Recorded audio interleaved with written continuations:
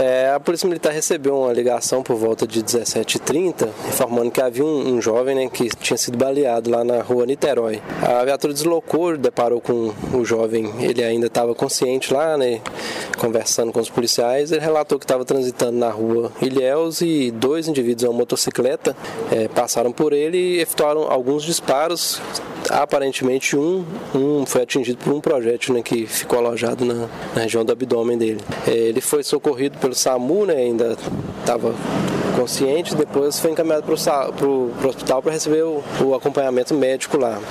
A gente continua com, a, com as diligências para ampliar as informações de autoria e localizá-los. E o fator motivacional?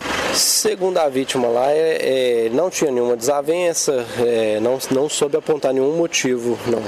E ele é menor de idade? Sim, menor de idade, tem 17 anos. É, pelo que foi relatado lá, ele estava na esquina da rua Ilhéus com Niterói, a motocicleta passou, o passageiro efetuou uns disparos e ele correu, no momento ele correu, provavelmente foi quando foi atingido né, por um dos disparos e depois ele pediu socorro, um, um dos moradores lá, ele ingressou em uma das residências e acionou o, o SAMU e a polícia também. Na declaração dele, ele alega que não tem nenhum problema e que, que não sabe nem o motivo dos, dos disparos. Né? A gente está trabalhando para ampliar essas informações. A, a, informação que são dois numa motocicleta. Isso, é, ele falou que era uma Factor vermelha. Né? É, a gente até pede à população, se tiver alguma notícia de onde eles possam ser encontrados, quem são os dados, que entre em contato no 190, é, passa para a Polícia Militar que a gente está empenhado nessa ocorrência aí para dar uma resposta. Horas depois do crime, qual que é a informação que se tem em termos de quadro clínico dessa vítima?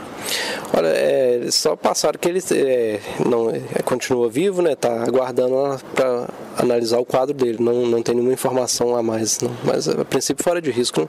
E os policiais que trabalharam sob comando né, do Tenente Silva nesta ocorrência? Olha, a POP do Sargento Marques né, foi a primeira equipe a chegar no local, teve o primeiro contato com a vítima, né, ampliou as informações para a gente e as equipes Tático Móvel também estão atuando também.